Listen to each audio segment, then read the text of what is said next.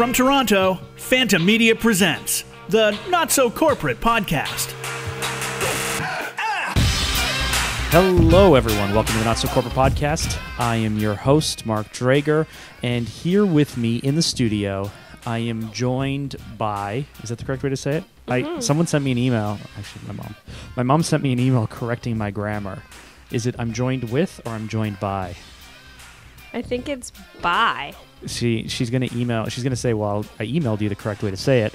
But my phone is crashing on me, so I can't figure it out. Anyway, I'm joined by Leah Earl, who is a digital content producer here at Phanta. Hey, Leah. Hello. And also joining us is Louis Vazenios. Yeah.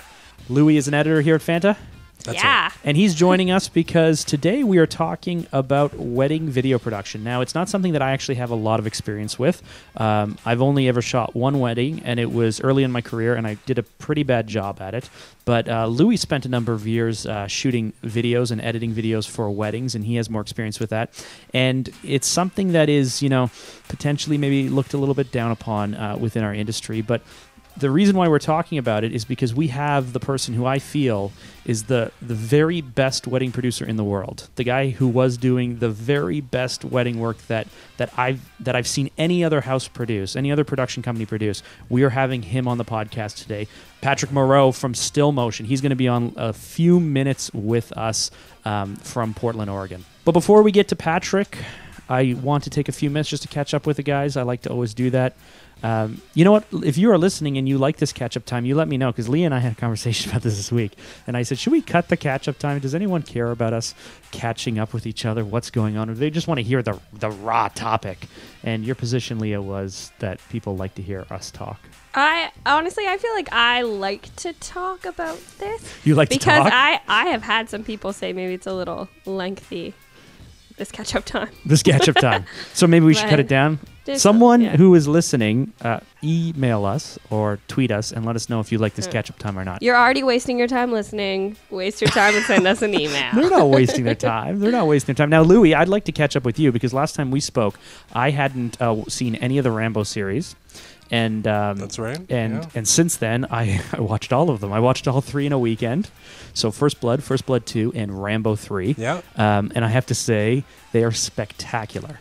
Rambo was a book Yes. before it was a movie. Yes, it was and, adapted uh, to the screen. That's right. And um, the book is very different than the movie. Rambo is like a killing machine in the book, and, and he doesn't really kill it. I don't think he kills anyone in the movie. Uh, well, he throws a rock at a helicopter, and a dude falls out of it.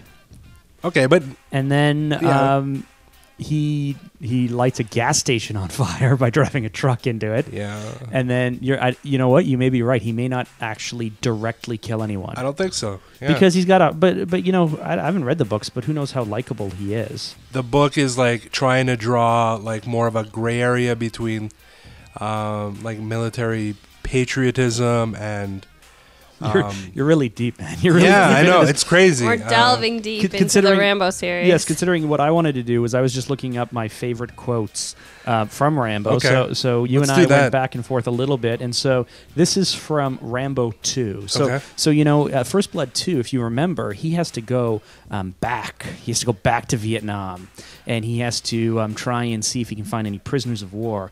And he meets he meets a young lady who's going to help him go back there. And our, our our good friend Rambo says this: to survive war, you need to become war. Now that's pretty deep. It's super deep. That's some deep shit. Yeah. Now, uh, and and then um, then, later in the movie, he's able to blow up wooden complexes with an, with a bow and arrow, which is which is. I mean, I know he had detonators on the end of it, uh, detonators on the end of it, but to blow up wooden complexes with with It's pretty a bow and arrow is pretty Yeah, amazing. That's a I- skill set that not many people have, other than John Rambo. Now, what I'd like to see happen is I'd like to see Rocky fight Rambo. I'd like to see what happens there because Rocky's an idiot. Yeah. Rambo's incredibly smart. Who do you think would win, Leah? Again, just so. I don't know. Brain, Ah. brains over sorry, brawn. sorry. Okay, I let's think get Leah. Rambo enga- would win. Let's get Leah I think engaged Rambo in would this. win. Leah, how's your son? How's your baby son doing? Let's talk He's about something you're he's engaged sick. with. He's sick. Yeah, he has an ear and throat infection. Fun times. Yeah, it's super fun. Yeah. Yeah, worst. Was that a worse topic? Let's talk about. What's wrong with Rambo? No, it was great. Yeah, It's a good intro. just got to cut all of Louis. I like You're Yeah. just you're you're say, the words coming out of your mouth are not matching the expression that's on your I face. don't. I haven't which seen says, Rambo, and I feel like I don't have oh, time to it's on watch Netflix, it. Do I have time so to watch good. It? yeah. Is it worth it? Yes, Rambo one. Yeah, one. well, it's We've worth discussed it. this before, but is it scary? Because I don't like No. when movies are No, scary. okay. Rambo one is very, very good. He says he says like eight lines in the whole thing, and seven of those lines are in the very last monologue, which is like which is very, very good. So what? What you're thinking that will uh, like It holds up. Wh- it totally holds that up. That I will Yeah. want to watch a Action. movie if there is no lines? No, because because listen, you know, Sylvester Stallone's worst character trait is his voice. right? So the fact that Yeah. he can just do his thing kind of without having to hear it too Very much. cool. And and the cops, the guys who play the cops are really good actors. Yeah. And some of the stuff that the guy pulls off is crazy.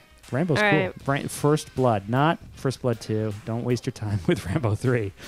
Unless if you want to see Rambo defeat a helicopter, as you mentioned, with a tank. He drives a tank Yeah. into a flying helicopter. Yeah.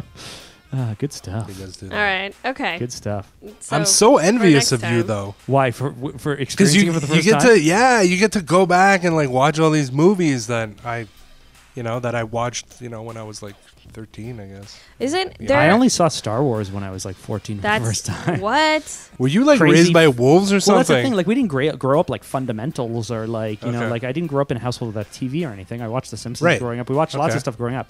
We didn't watch movies. I didn't grow up in a family that watched movies. I had a VHS tape of Daffy Duck's Fantastic Island, but I watched that every single day because it was Looney Tunes. So Bugs Bunny, Daffy Duck, All good right. stuff. When we were little, we rented the same movie like over and over again. Why would my Should've just parents? bought it. Why would my parents not have just bought it? Every time we went to the video store, we're like, we just want to rent the Chipmunk Adventure, and they were like, fine. Oh, because that's the devil's playground, young lady. What is? Wouldn't isn't that something your father would say? No. He subscribes to this now, eh? yeah, he would. He's very supportive. Bill, how's it going, buddy? Yeah. Mr. Bell. Sorry, Mr. Bell. I hope you're you're doing well. you should call him Mr. Bell. You're like my age. That's what you call people. I suppose so. Do you have your kids? Did their friends call you like Mr. Drager or Um, Mark? My my my kids' good friends call me Mr. Drager, and I say, no, no, don't call me that. That's my dad. No, I don't really. I, I just just you just do whatever their parents say, because no matter how much you like, they're trying to instill respect into their kids. So if they want to call me Mr. Drager, that's fine. They don't have to. Usually, they just say like, you know, Rachel's dad or Jonah's dad, because even if they know your name, they're really not sure how to approach you. That's an interesting thing. I feel like You know, I- it's it's I don't want to be Mrs. Earl. it's more. you don't want to be. Mrs. Why? Like I don't want to be called Mrs. Earl. I'm still Oh, married. No, you totally you like you totally will when when your kids are like teenagers or something. I think out of respect, but um, you know, like I wouldn't go over to my friends. Like my best friend growing up, his name was Jordan. His mom's name was Cindy. I would never say like even as teenagers, 16, 17 year olds, "Hey Cindy, how's it going?" Like it's very rare for me to use a name because it's just Yeah. You don't have name confidence. I don't I don't have name confidence. I've No. because I'm terrible with names. Oh yeah. I can like so. So here's the thing: I can meet you and I can be like Leah. Her name is Leah. Her name is Leah. And then I would go to say like, Hey, how's how's it going? like, because I'd be like, Well, what if it's not Leah? What if it's Leah? What if yeah, it's you like, freak out. yeah? And I Mhm. start to have a little Mhm. mental battle. Mr. Bell, we appreciate you listening. Thanks so much. And Mr. Earl, who has an MBA, we appreciate you listening Yeah, too, and all your hopefully friends. he's listening We won't have time to talk about MBAs this week, but one day we might have him on the podcast.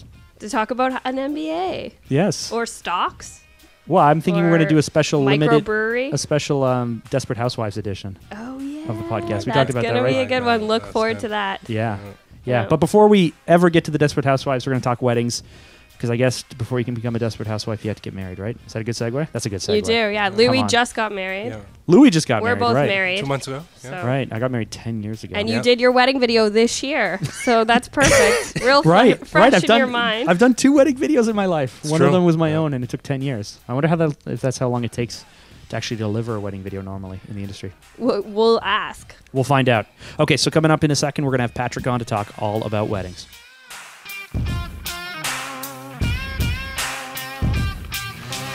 So as I mentioned, we are joined with Patrick Moreau from Stillmotion. Uh, Stillmotion is a is um, a video production company. Is that how you'd say it, Patrick? Or do you classify yourself that? Or are you guys filmmakers? Oh, it's such a it's such an interesting, long-winded explanation. But in general, we are uh, filmmakers. We do production. We also have our own original side, so we do our own web series, uh, and we uh, did our own documentary last year. And then we have a whole education side that's focused on really helping uh, storytellers and filmmakers. So we're really kind of three-pronged in that sense. So super big, video-focused, film-focused, educational-focused company located in Portland, Oregon. And um, you have a bit of an interesting story that took you down to the states. Uh, many of our listeners are Canadian. Canadian as as well as American, but you originate out of um, out of Ontario, close to Toronto. Is that correct? Absolutely, uh, out of Midland, Ontario, a small small town uh, about an hour and a half north of Toronto. And so you found yourself just just so I can build your backstory. You know, we did a bit of research on you, of course. Um, you you found yourself in university, and the story that that I've heard is that you and your wife got together and decided to start making films, and you found yourself moving towards wedding videos. Why did you uh, gravitate towards weddings versus versus you know what other people are doing, maybe more going into into unions or going into commercial work or, or other things like that. Both of our background was in psychology. We were studying psychology and really wanted to use film as a medium to kind of express the things we were learning about. Um, so, I mean, imagine a university kid in a you know a dorm room that has never picked up a camera before. Amina had some photo background, but we knew nothing about video, never shot anything, and so the idea of like making a documentary, like we didn't know what story was, we didn't know um, anything beyond shutter aperture and ISO, uh, and so that's what that's what filmmaking was. It was this this medium to express some of the things we were learning about and things that we wanted to say. Um, and as a university student who doesn't have a lot of money and has student debts and everything else, what's the best way to buy gear? Um, for many of us, that's you know that's how we get into weddings. You know, it's, it's the the kind of easiest gateway into filmmaking where you can actually kind of get paid and bring in some money and, and help kind of get your gear. So that was really our, our motivation was we wanted to be able to do documentaries and weddings were going to kind of uh, help us uh, sharpen our teeth a little bit and help us buy gear. Um, and because of that, we weren't trying to make the best wedding films. We really didn't have a desire to make wedding films. We had a desire to tell stories and to say something. So we really didn't w- worry about or look at what the industry was doing. Instead, we tried to just kind of we, we really just tried to do something that we wanted to watch, um, and that was always our filter. And I think that that's often what um, many of us forget. It's just like, is it even interesting for me to actually uh, view? And as we started doing that, people started taking notice. We started kind of getting um, some really interesting attention, and a lot of people were kind of looking at our wedding films, and uh, that's really what started us on this crazy journey. Um, and then all of a sudden, weddings actually took over, and and uh, rather than pursuing a PhD, we were business owners shooting 40, 50 weddings a year in our last year of university, and decided to not, after finishing my bachelor's, not going any further with that, and actually taking over and focusing on Stillmotion. You know, I think there's a lesson in that that and and it's it's interesting to me because so many people focus on starting a business for monetary reasons. You know, they think I need to make money, I need to hustle. People are pressuring me to do something with my life. I have to do something. And yet you found yourself going into film because of a passion. You found yourself ignoring what the industry is doing, ignoring what other people are doing, and doing something for yourself and for your customers, something that that gets you excited, and and yet that led to an extraordinary um, path and an extraordinary growth. And and you know, I said in the opening wh- where you went on the line, I said, you know, I felt you were producing the very best wedding videos in the world that that I have seen anyone produce on any level. And so it's interesting to me that you didn't go to film school, you didn't want to become a filmmaker. This wasn't uh, a stepping stone towards doing kind of you know what you really want to do you found yourself doing weddings and videos, but but ignoring the world around you and doing because you're passionate about storytelling. That that to me is is really interesting our theses in university were on overjustification and materialism.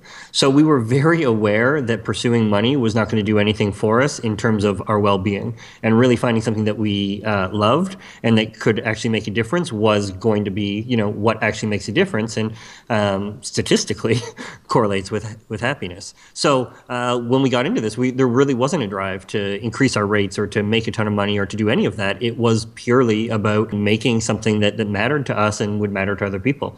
And I think because of that, we we really kind of were a lot more innovative. Um, and I think we had a lot more of like a growth mindset and we were bringing in new techniques and new ideas and all kinds of things because this was our passion.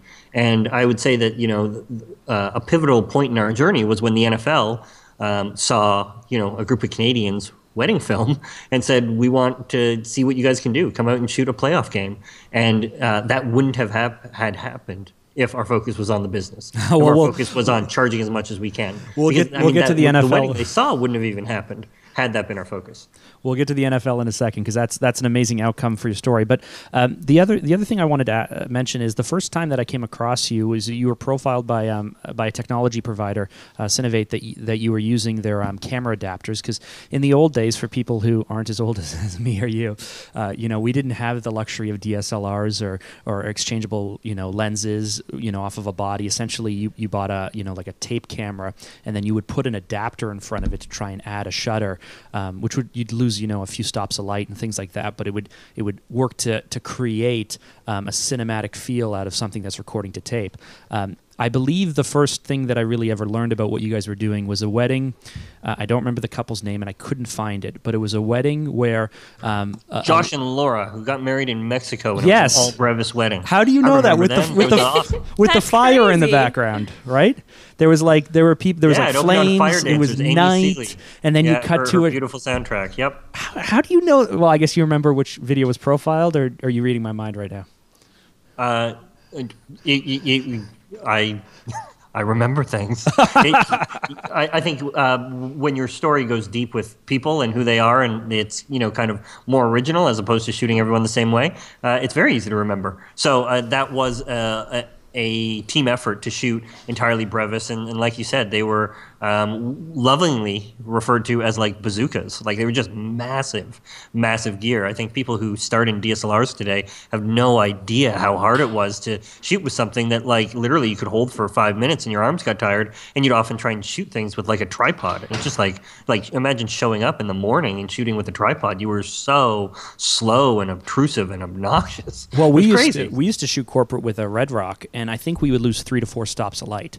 So imagine, imagine like shooting an interview setting where you'd be bringing in HMIs and other stuff just to get enough light in order to shoot an interview uh, on one of these systems. But but uh, those are the old days that are behind us. But what, so so it's amazing to me. You uh, you know you remember that it was a fantastic it was a fantastic film, and and that really you know I looked at what you were doing. We were doing corporate, and I said I you know gosh we got to up our game. We got to get better. These guys are doing this in weddings, and so there was that. I was watching what you guys were doing, but the other thing is from what I heard, from what the internet was telling me, you guys were charging like twenty thousand dollars plus for a wedding video. Now, that's that's you know when you Google how much does a Stillmotion film cost, that's what it was saying. So so you know People I Google that. I googled it. I want to know how much people how much you were charging. but then, but then you found an answer. That's what's crazy.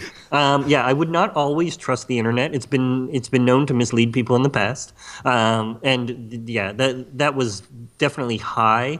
Uh, that would be high for what we were charging at the time. We were probably closer to ten to twelve thousand dollars, um, and then near the end, we probably charged closer to fifteen to twenty thousand dollars, with the higher ones being uh, forty to fifty. Okay, so so even so, so you know, people listening might be saying, you know, I'm, I have trouble getting twelve hundred dollars out of someone, or I, I have trouble charging three or four thousand dollars out of someone. So can you walk me through, um, you know, not in excruciating detail, but just just the selling process, the selling mindset. Your portfolio speaks for itself, which is great, but still, you have to not not convince or sell, but you have to be aware that you know the productions cost 12 to 50 grand. How is it you're producing at the time wedding videos for 12 to 50 thousand dollars? How are you approaching it? How are you speaking with clients?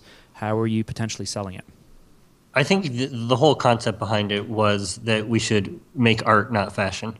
And I think that so many of us get into this and we try and make fashion, right? We try and follow the trends. Everybody's using drones right now. In our time, that was Brevis, and then it was DSLR, shallow depth of field, then it was sliders. You know, and there's there's these trends that people hop on, and then doing ring shots and dress shots. And hey, we were we were huge, um, huge at the forefront of that. And and uh, I feel really bad for encouraging that behavior in others of like just shooting kind of meaningless details to try and make them look beautiful. Um, but that is fashion, just trying to make it look pretty without any uh, depth behind it.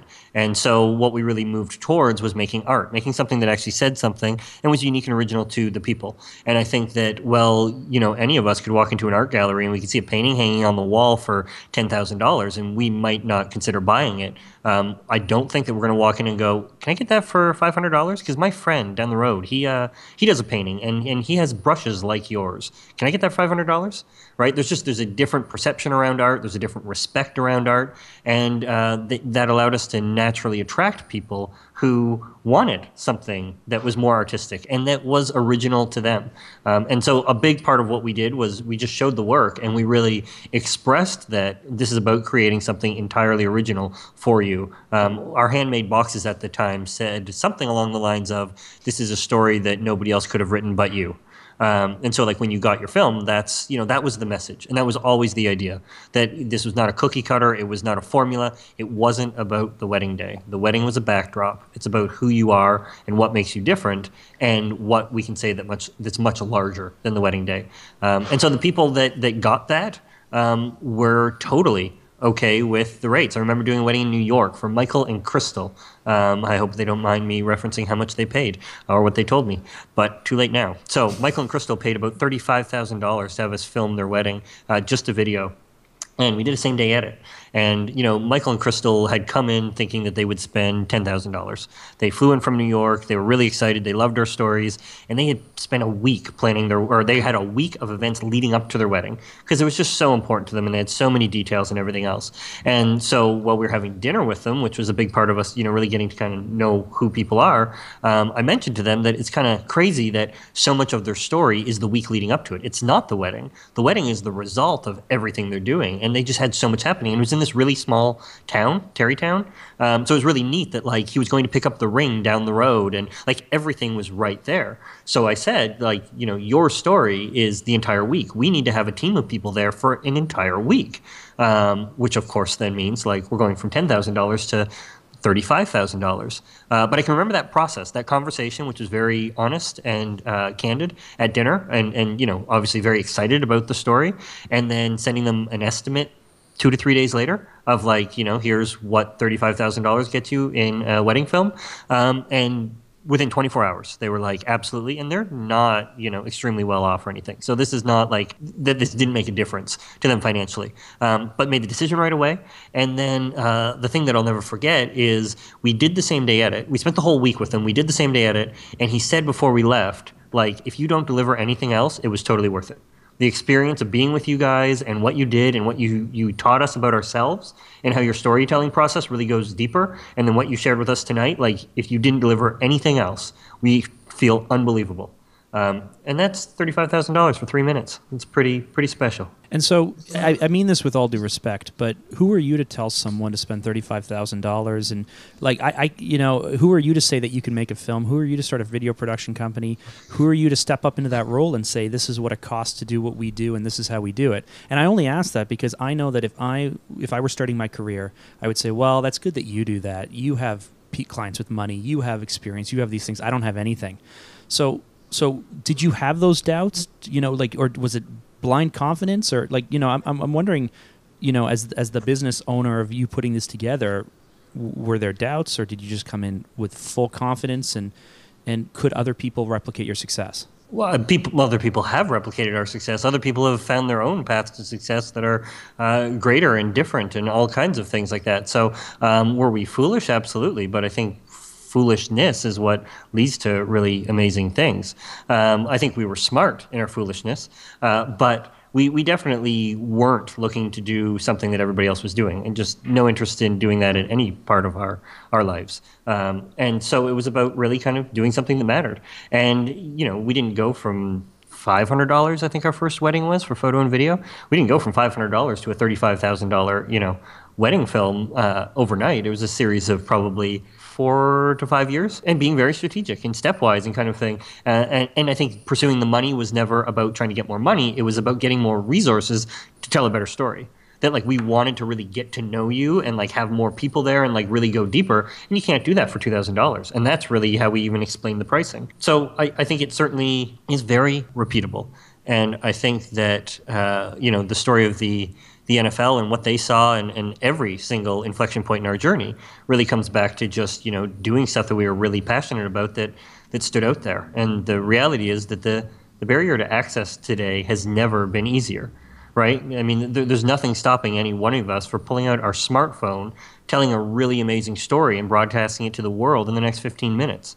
That that is was never before possible. You could even throw it on, you know, Indiegogo or Kickstarter and get the world to fund your movie. You can distribute it with Tugg and put it in platforms without having to put a penny down You know, you could have a film shot on your phone in your pocket, broadcast across the world without having to put any money out. Uh, and, and that's never, never before been possible. And I think then what it really comes down to is the quality of your ideas, of your stories, of creating something that people want to watch. And uh, yeah, we can all do that if we care about it enough and we dig deep enough. So you've mentioned the NFL twice. So walk me through, for for those who aren't aware, how it is that you transitioned out of doing weddings in St. Catharines, Ontario, or in Midland, Ontario, but how you transitioned from there to what doing stuff for the NFL and, and being in the states. Early on, Canon saw one of our weddings, a wedding we did for Amy and Alex. It was one of our earlier weddings that like got quite a bit of views. They didn't know we were shooting with. They called, um, and they were like a couple blocks down from our studio at the time. And they said, "Hey, what are you guys shooting with?" And it turns out we were shooting with uh, the XHA1, I believe, um, and a Brevis adapter. Um, but the fact that it was a Canon camera at the, the you know at the core of it made them really interested, and so they wanted to come in and see about you know using the footage or having us consult on a commercial. And they were doing a commercial for the T2i, and they loved how you know the, the real emotion in the wedding. Um, and as it turns out, they ended up licensing the wedding, made it a primetime commercial um, across the country. So like we were watching Grey's Anatomy and House, and like here's our actual raw footage from a wedding um, turned into a T2i commercial. I walked into a Best Buy once, and like every single TV like was flipping like th- with the bride putting the veil in front of her face and like was a shot from a wedding we did. It was just unbelievable, and that started our relationship with Canon. Um, so then when they launched the Canon 7D, they shipped us two white boxes in advance, uh, no manuals. No directions. They said, "Here, you've got 72 hours. Test it out. Let us know what you think." And at, at that time, I was supposed to shoot a photographer promo. So I went uh, and basically, you know, told the couple, I'll do this for free. Um, would love to shoot it. It's a prototype camera, uh, so I don't even know if it's going to work. You know, like I can't guarantee anything, but let's see what we can do. And they they loved the idea. Uh, I wasn't even supposed to be at the wedding. They weren't even going to get video. So like this was a bonus for them, and it meant that I had absolutely no restrictions. I only had myself, two bodies, and like four lenses, but absolutely no restrictions. And so that film was JC and Esther, and that was our first film that that really went what I might call viral um, and got you know 250,000 views in the first couple weeks. All of a sudden, we're getting a, a bunch of attention from nothing other than our weddings. And one of the people that saw that wedding was a, a big burly dude from the NFL, um, and it's exactly like you imagine it on TV, where the phone rings and you're like, no, no. like there's a mistake, right? You pick up the phone and when they said they were from the NFL and they wanted to talk to us about, you know, doing filmmaking for us them and flying us to the playoffs, it was like I you, you know the the honest thing that went through my head was that it was Ray Roman and he was like playing a joke on on me because that's like the kind of thing he would do and I thought it was a little too far and it was a little too mean, but I actually didn't know what to say and I felt like a fool if I took them seriously. Um, and it, it took 15 minutes to kind of get over that and actually start having a conversation. Um, and, and I mean, realize they're calling Canadians. You know, our game is completely different. Uh, and and they literally had to like, you know, we had to teach people on our team who the quarterback was. Um, Come on, we got the CFL now. We have a quarterback. our players have summer jobs. It's a different game. they gave us one test test shoot, and they had no intent of airing it. They were like, "Look, uh, Chargers Jets. You can bring a crew of three people, create a five minute piece, tell the story of the fan experience. We want to see if the way you're telling stories in weddings translates to the game. It's exactly the same insight you had when you said you first came across Josh and Laura, right? Like, hey, we're doing commercial work. Look at what these guys are doing in weddings. Like, we can go deeper with our stories. That's what the NFL said look at what these guys are doing in weddings. Let's bring them in and see if they can shoot for us. Uh, and then that one shoot, um, they loved it so much. They never air- aired it. Nothing ever happened. But they loved it so much that they ended up giving us a roughly 120 day shoot contract. You know, a several hundred thousand dollar agreement um, for a studio that, like last week, was shooting uh, garter toss and a cake cutting. You know, just like unbelievably, you know, life changing um, experience in a matter of weeks. I just not to bring it back to weddings, but uh, so I shot and edited for ten years before coming here to work for Mark in corporate video. While I was doing wedding videos, I, I found that managing the expectations of a project so personal and that involved so many emotions was uh, very difficult, and I, I'd like to get your perspective on that. Yeah, I think we go back to, to creating art versus fashion, right? If you went out and you commissioned somebody to create a painting for you, and you said you wanted something for your home that was really, you know, fitting um, and warm, and maybe reminded you of your cottage house or something like that, and you hired them and you paid them ten thousand dollars to create this painting, would you then go out and go, but you can only use red? You know and, here's the you know like would you give them soundtrack suggestions and lens choices and all of or in shot lists you know? Or would you say no you're you're the artist and if you understand me and what i want um, then then go and do it. And i think that that's where we we fail so often is that we don't uh, assert ourselves as the storyteller. We don't really um, explain what the process is going to be and we don't really look at it as art. And so people just step in and everybody's got an opinion on what you should you know what you should do and how you should do it. So what we did um, and this is probably later in our wedding career it took us a, a while to get to this but um, we just removed any of those decisions entirely and we just made them all. So um, and it, it came from a very deep trust with our couples but we're like we're going to really get to know you and then we'll tell the best story we can. Um, but we're not going to. I mean, at, at, the wedding we shot in Florence, Italy last year, um, we didn't even have a schedule. They didn't even know when we were going to be where. There was no like nothing, you know, no list of how many cameras or how long it has to be, or yeah. it, it was literally like, you know, you're commissioning art. Um, and so I think the more we can get into that idea of setting up a process, setting up expectations, and making it more about you being the storyteller and that you're trying to create something original for them, that you can get out of that. As soon as you're a tripod, well, then yeah, I'm going to tell you where to stand and what to shoot, and everybody's got yeah. an opinion. And can you yeah. go get the cocktail hour for two hours, even though nobody, it's mind numbing yeah. to shoot it, let alone watch it. Yeah. You know, um, so I think that's the problem is that we really become tripods, and to get out of that, we have to actually say something unique, and then people start going, "Ooh, I, I want you to speak. I want you to you know create something that is going to move my friends, and everybody's going to talk about, and they're going to share it. You know, I don't want something that you know I'm going to have to beg and plead them to stay for more than 60 seconds." You know, uh, so uh, Patrick, I've I've only ever completed two wedding videos. I shot one like right out of uh, uh, film school, and then um, I got married ten years ago, and I finally edited my wedding video this spring. So and it wasn't very good, but no, it, it, was, decent. It was touching to my wife, which is all that matters to me. But um, what I hear you saying is basically, you know, the troubles that Louis was facing on the production side of things was was purely because of positioning and setup from the very beginning. It sounds to me like like Louis' company was approaching things um, as as a as a service based company where they would come forward and say, you know, we will help complete your vision, or or uh, you know, we're going to do something to match your day or this or that. And it sounds like from the very beginning you were positioning it very differently, where you guys are coming in as experts, as professionals with the best interests of the client in mind to to see a new vision that's not, as you mentioned, you know, the wedding, the, the video isn't on the wedding, right? The wedding is the backdrop for the story of the couple coming together and you're creating a video on that. And just that mindset that that different philosophy will set up different um, expectations and different control and different procedures all the way through the production process. Absolutely. I think you know everything that you do really is integral to um, the experience and how people interact with you and the perception of who does what you know. Expectations are incredibly um, important. And uh, in in Muse, we have you guys heard about Pearls Before Breakfast, the the New York Times Pulitzer Prize winning article? No. so sorry, I was thinking, some, should some, I should I lie? Have heard of it. It's it's it's just it's so incredibly um, it, it's so powerful in showing really what uh, expectations can do. Um, so very quickly, what they did is they took Joshua Bell, and Joshua Bell is one of the world's best violinists, right? So you could kind of say that that makes him like one of the best world, the world's best storytellers. Um, and so they take Joshua Bell and they take his million dollar plus violin, which is like taking you know one of the best filmmakers and giving him a Red Epic and a Follow Focus and Cinema Primes and like everything you could possibly want, right? You take the world's best storyteller with this best gear and then they put him in subway in, in the subway in New York Monday morning 9 a.m. They wanted to see what would happen. It was an experiment. And the crazy thing is that you've got one of the best storytellers in the world with the best gear, and nobody noticed. 40 minutes before anybody stops. He makes like $40 in tips that day. You know, a guy that can sell out Carnegie Hall playing with a million dollar violin is making $40 in tips.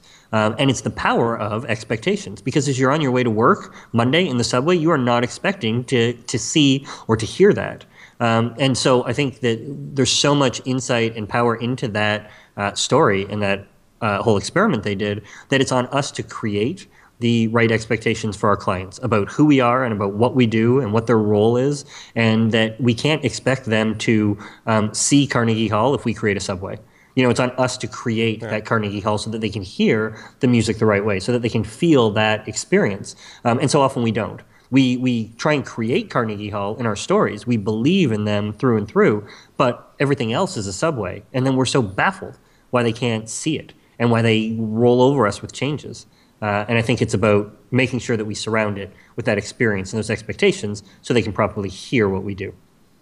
So you have this incredible relationship with your clients that makes this amazing work, but how do you do that over and over again? You said the the one year you did 50 couples, like how do you keep repeating that process? Well, the first thing we did was stop doing that. stop doing 50 weddings uh, Okay. because it was getting very hard. And I think the moment that we um, stopped loving it, we stopped doing it, and that's kind of been a big. That's been a big part of everything we've done, um, and a big part of our success. Really, is is you know that all the, the st- staying passionate and really you know loving what we do because that's I think really the only way you're going to produce work that um, people are really going to fall in love with is if you really care about it. So uh, we started paring that down, and we went down to 20 to 30 weddings. We had multiple teams, all kinds of stuff like that. But I would not point to our 50 wedding years as where we were going um, the most in depth. All of that said, you know, for the 20-ish thousand dollar wedding we shot in Florence last year, like it's not like we spent a month getting to know them or building their story. Uh, we go out to dinner or we do some Skype calls. We you know share notes uh, with our team, um, and we have you know th- this uh, storytelling process that we call Muse that uh, we teach worldwide. And having a process allows us to be incredibly efficient in not just uh, in knowing what it is we're looking for, what universally makes a strong character. Forget a wedding. You know, you want to make a Hollywood film, you want to make a documentary, anything. You know, what universally makes a strong character, and that's where we dig, so we can understand what makes them a strong character. Uh, and then how do you build a strong story? You know, understanding the role of conflict and structure and all of that. So um, that is what we kind of go at, and we try and get to know who they are and what makes them different, and these traits that make them a universally strong character. And then we build out the story. But that is often less than a day of work before we show up at the wedding. And sometimes it takes a little bit longer, but it's very, very intentional time, right? We know exactly what we're looking for, and then we build it into something so that we know exactly what the story is before we show up. We know that we're going to transition from a wide shot of the dad talking at a welcome toast with a kilt on to the, you know, night before when the bridesmaid was making fun of dad wearing a kilt. Because We've looked at every single speech, every single toast. We know what everybody's going to say. We know their vows.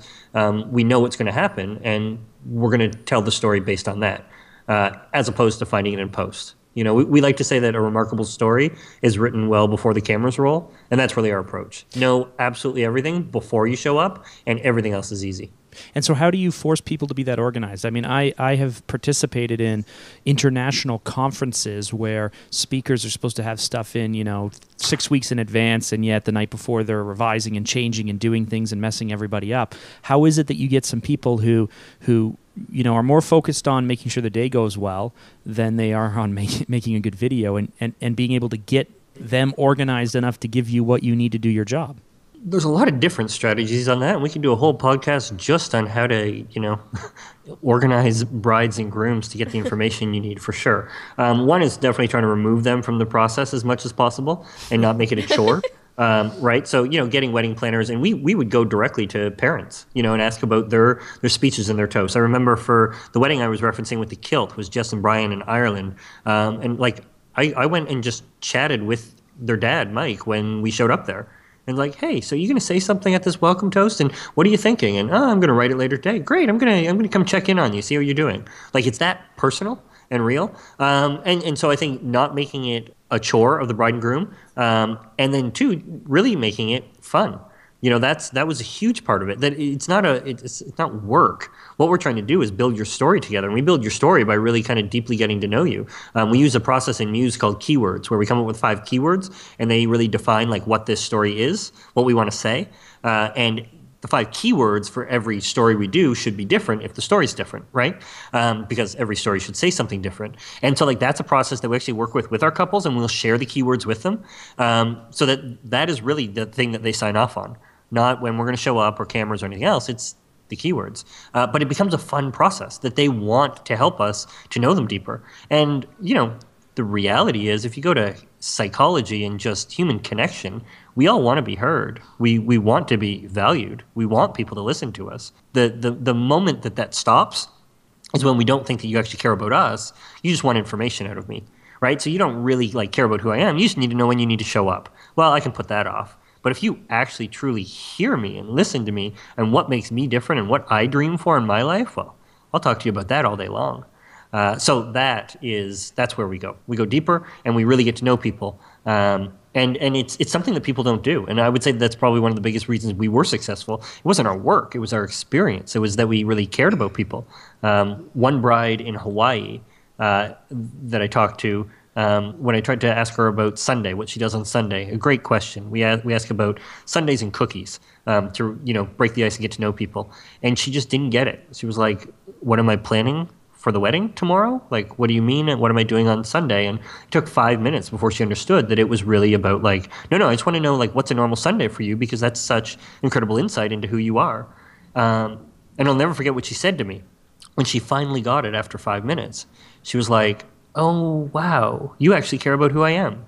It was so hard for me because everybody else I've been talking to, they just treated me like cattle. They just really wanted me to sign on the dotted line and then know when they had to show up and when it was going to pay them. So it's like I didn't understand when like that's not at all what you wanted to talk about. And like we have to realize that that's how people are generally treated by every single vendor. So if we can come in and actually like give a shit about people and actually ask them something different and care about who they are, well, I think I think you can start to see how we're going to be okay paying them more, how we're going to be okay not telling them how they're going to do this, how we're going to be happy to show up and hang out with them, how we're going to give them more of our attention. You know, it just it just makes sense. Yeah, I mean, it really speaks to the approach that you take. And I, I remember when when I was doing that that line of work, um, you know, we had a questionnaire, and we spent maybe 15 minutes talking to them about kind of running the day back from from the ceremony or the reception, and kind of planning things out that way. Yeah, I mean, you start to figure out w- with your model, the model that you employed how much time you're putting into these couples and, and, and really why you're spending why they're spending what they're spending. But Lou, yeah. were, were you asking when you guys were doing your breakdowns? Were you asking logistical questions? It was see that's the thing. It was all logistical. It was the thing that I guess Stillmotion did was they they took themselves out of that vendor circle and they set themselves apart and they empowered their their their clients. It wasn't oh I'm going to show up at 9:15 and make sure that the, the dress is hanging so we can get a shot of it. It was more personal, and that matches the uh, the project because the project is so personal, and these people really do have stories beyond you know standing under under a chuppah and getting married or something. We didn't make clients; we made friends. Yeah, we we, we really did. We'd stay in touch after the wedding. We'd really get to know. I mean, we had a wedding couple we shot five years ago who just came and interned for us for three months. You know, five years ago they moved from Australia to like be a part of what we're doing. Um, you know, so we we form very real relationships, and that's how you get um, a completely different perspective. And and quite frankly, that's also how you can you know shoot and get completely different um, a completely different emotional tone in your story. Because if you're the photographer, I mean, or the filmmaker, you know everybody is aware of what you're doing and they're trying to look good and sound good and everything else but if you're a friend well then i'm just going to be myself uh, so really becoming a friend and getting like deeper not only makes the process easier before the wedding but it also means that you can actually get a much deeper story because you're kind of on the inside as opposed to you know shooting that front that so often people want us to film. What are some of the biggest mistakes people make when they're shooting weddings?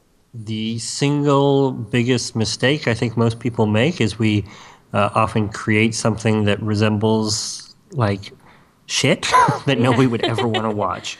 Um, and I think that we, we confuse ourselves and we think that our job is just to make our couples happy. And we don't realize that that's kind of like being in kindergarten and doing a finger painting and bringing it home to your mom and she loves it um, that it's just it's it's not all that hard to impress people when it's their wedding, um, and yeah. especially if you're making a romanticized version of their wedding.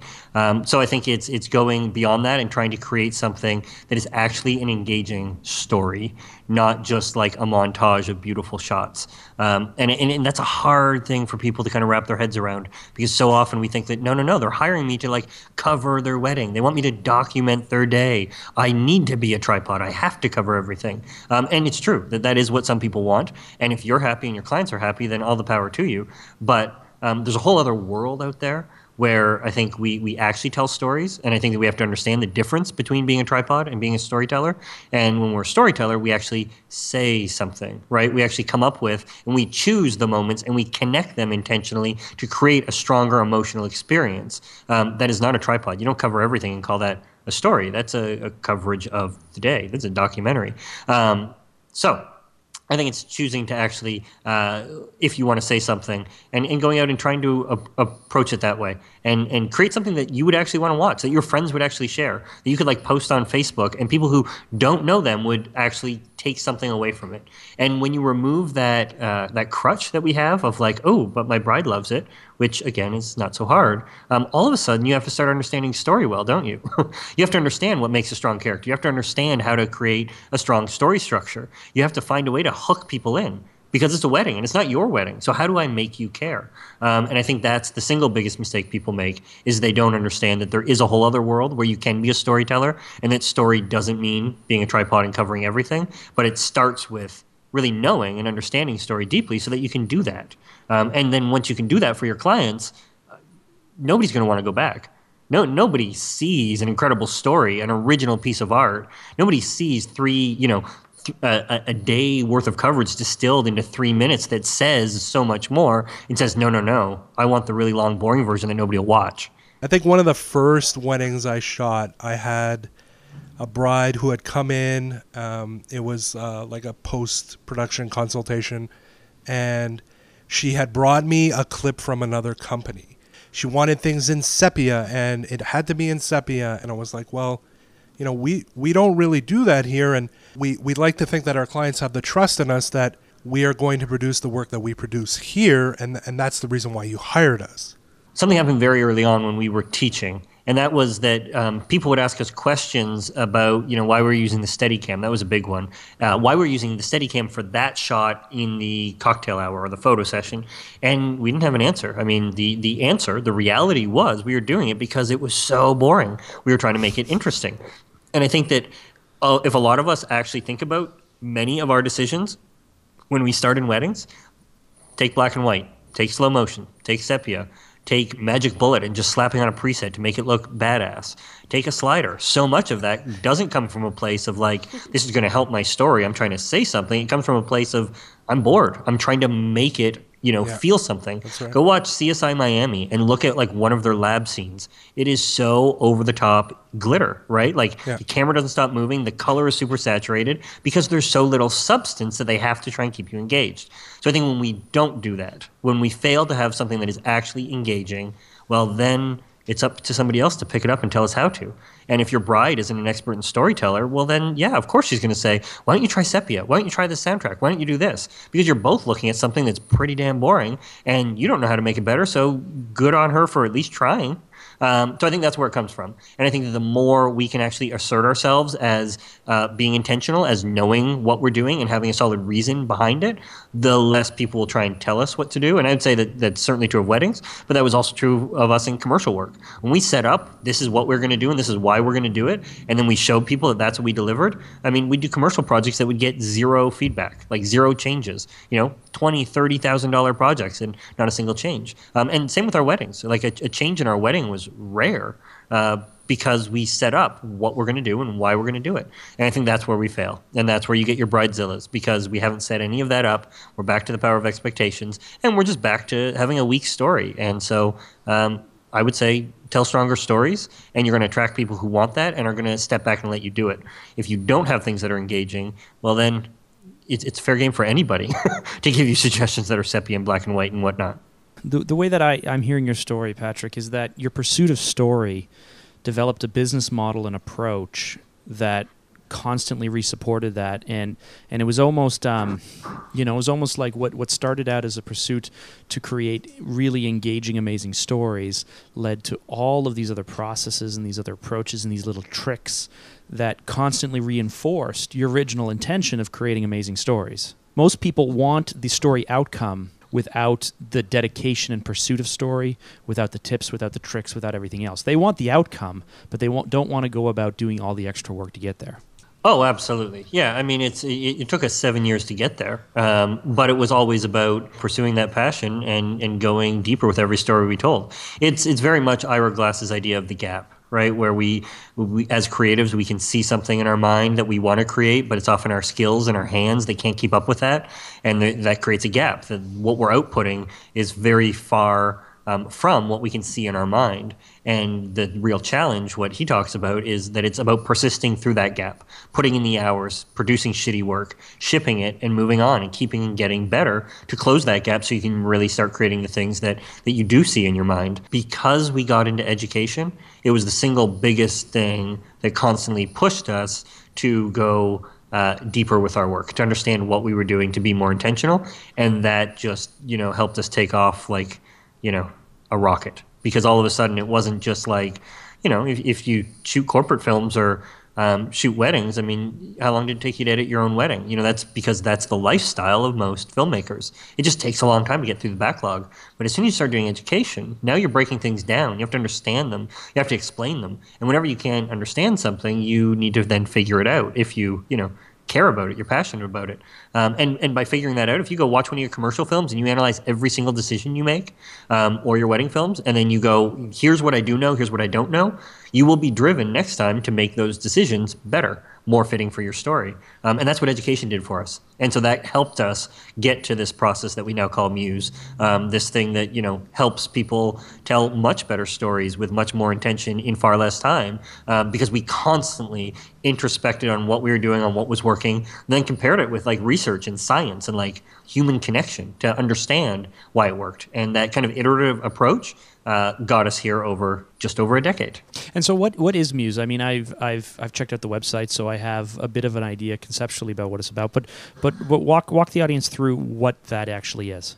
Yeah, um, Muse is, is a storytelling process. So it's a step by step process that helps you be more intentional and more moving in your stories, create a stronger emotional connection. And it's really built on the four pillars of story people, places, purpose and plot. Um, and, and so we talk about you need to have a strong foundation, and any strong story maximizes all four pillars.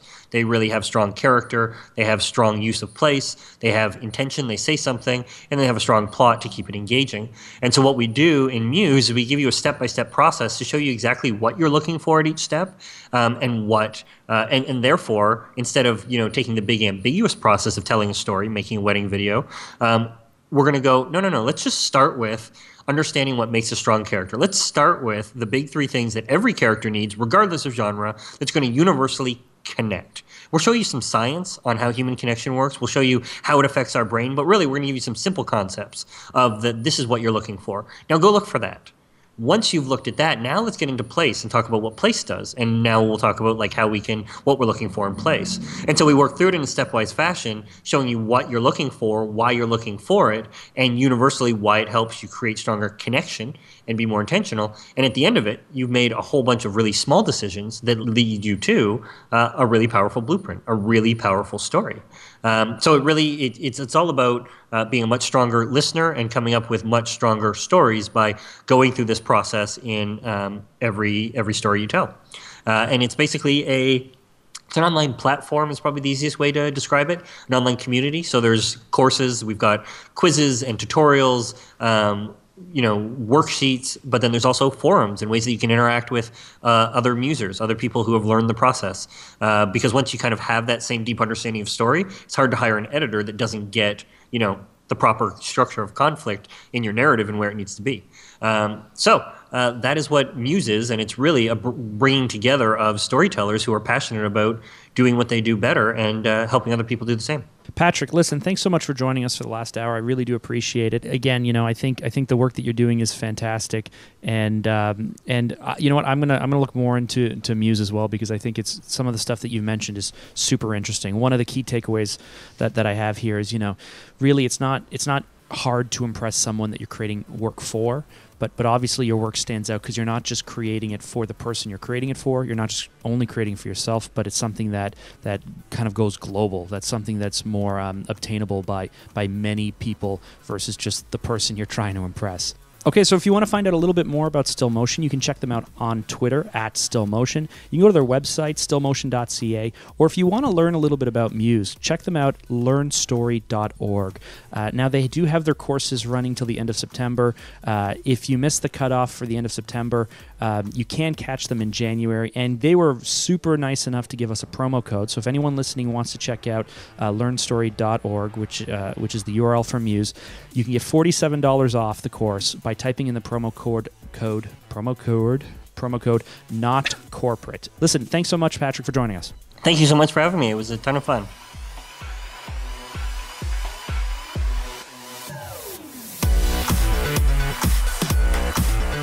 With this week's question of the week is me. I have a question, Leah. You gonna let me do this? Go for it. Okay, I want to know from listeners the craziest story, their craziest bridezilla story they have witnessed. So whether you're doing film or video for weddings or not, maybe it's just a You're just at a wedding. Maybe it's you're at a wedding. Maybe you're wedding crashing, like the movie with the Wedding Crashers. Yep. Maybe it's a family member. Vince Maybe you're Vaughn. Italian or Greek, and maybe you have a big family. Yep. I would like to know what the craziest thing that's happened to you at a wedding is, bridezilla wise, or you know. So for my wedding, for example, my wife and I. Here's an example, just to prime the pump, Yeah, so to speak. like right? this. My my wife and I uh, released doves. It was- Oh no, you didn't. no, no, no. Hold on. It wasn't. It wasn't the doves that was the crazy part. The doves were cool. The the crazy part was Did, we- was Seal playing during the Dove release? Just no, asking. someone read a poem and then we released doves. Listen, we've been we've been lovingly married, and it's all because of what the dove represents: peace, harmony, and love. No, we released two doves, and the crazy thing is is the music's playing. You know, like the like you're walking. You release the doves. The ceremony's over. You're walking away. Yeah. We're we're walking like down the aisle, and the dove lady approaches me and says, "I need to be paid." And I didn't have any. I didn't have my wallet on me. I didn't have any cash. What? I didn't have anything. And I said, "I said, well, you have my credit card number. We put the down payment." She said, "No, no, I need to be paid right now." We're walking down the aisle. She's like, "You owe me three hundred dollars." So I turned to my best man. and I was like, "Dude, I don't got my wallet on me. I don't have any money. You need to find me three hundred dollars right now to pay the Dove lady." And so he's like, "I'm on it." He was a great.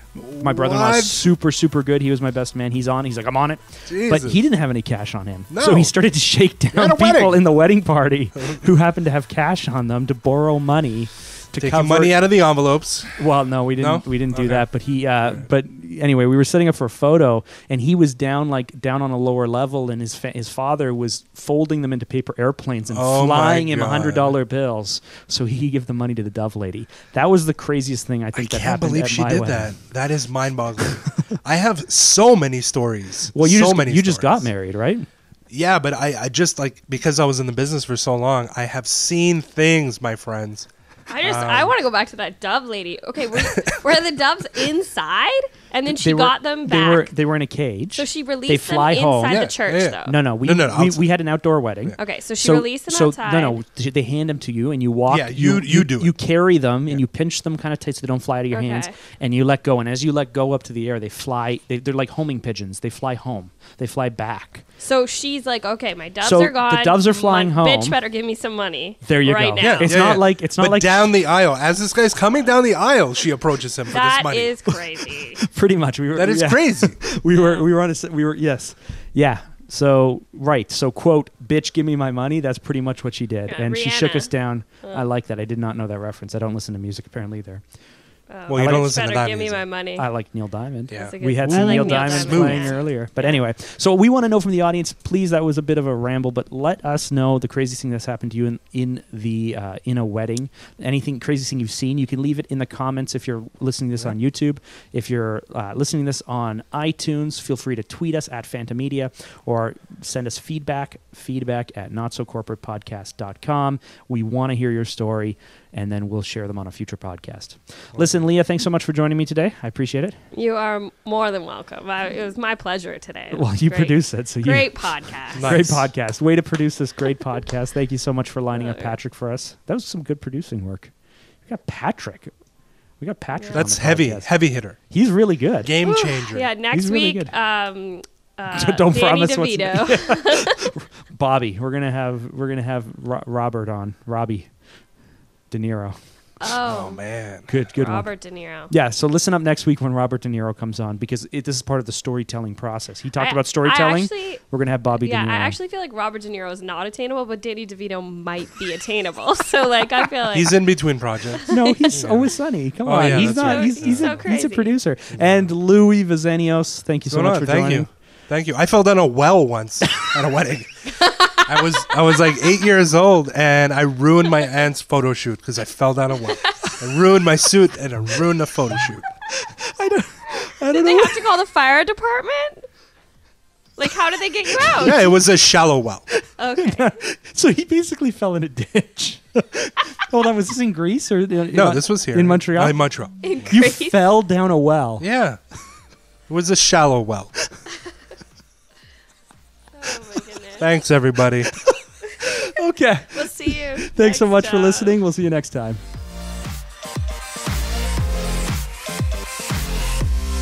All right. Question of the week: Is Santa Claus creepy? That's the question we want our audience to answer to us. You press record after I suggested it, so I assumed you were on board.